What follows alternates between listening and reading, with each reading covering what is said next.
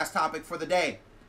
Been uh, secretly avoiding this because I don't like talking about criminals, especially when their trials are still underway. But seems like this guy right now is pretty cooked, ladies and gentlemen. His name is Diddy, the Diddler, whatever you call him, P Diddy, Puff Daddy.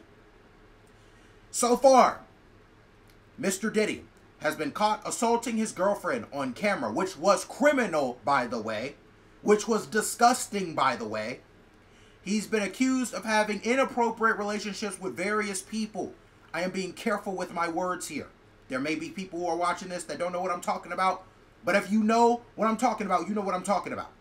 If you don't know what I'm talking about, you might want to scroll away from this section. It might be a little too young for this Diddy news. Diddy has also allegedly forced people to, to participate, excuse me, forced people to participate in actions they did not want to participate in. He has drugged people and allegedly he has also contributed to the beatings and possible, um, I'll just say, harming of individuals. Using my words wisely here. Through the last couple weeks, this man has had his honorary Howard University degree taken away.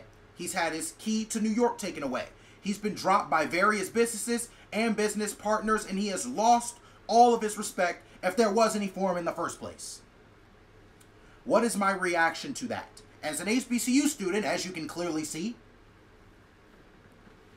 Diddy getting his honorary degree from Howard University taken away. Now, trust and believe me, I am the last guy who wants to come up on here and and talk about another black man in a demeaning way. Trust me, I'm the last guy that wants to do that.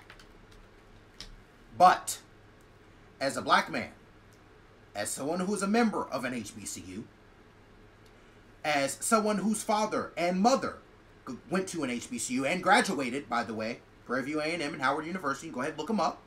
Go ahead, look them up. You will find them. Trust me.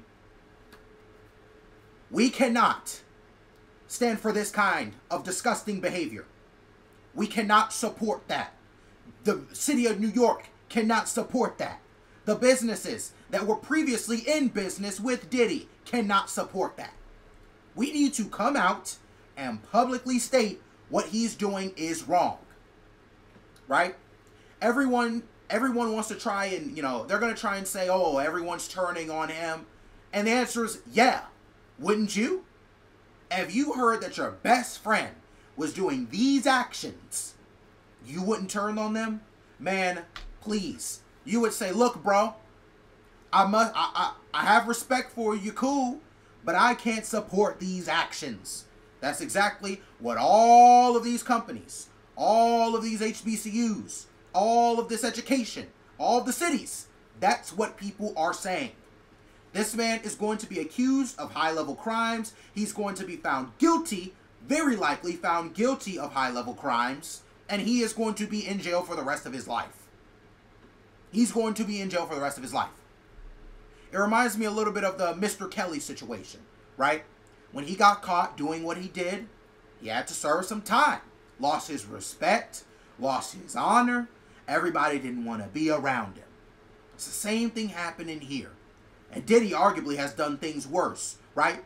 This is the stuff we've uncovered, right? Imagine the stuff buried underground that no one else is going to find out.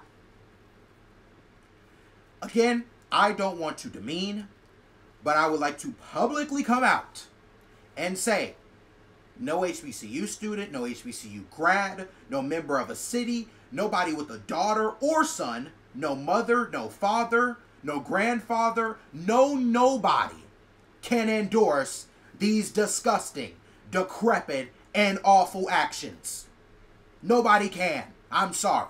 Nobody can. I don't want to demean them, but that's just how I see it. Without further ado, thank you for watching. I'm to in this video. I have a little uh, Spain documentary thing coming out soon when I was in Spain. You know, your boy's been traveling around the world, discovering, doing what I do, of course. That's why I had to take a little break. I was abroad for 10 days. I was like, uh, I was like, no, it was about, about maybe a month ago now. About maybe a month ago. I came back uh, a lot less than a month ago. I was there for 10 days, 11 days. But I'm here now. I got a little thing coming out for you guys. I hope you guys enjoy. Without further ado, I'm going to end this video. Thank you for watching.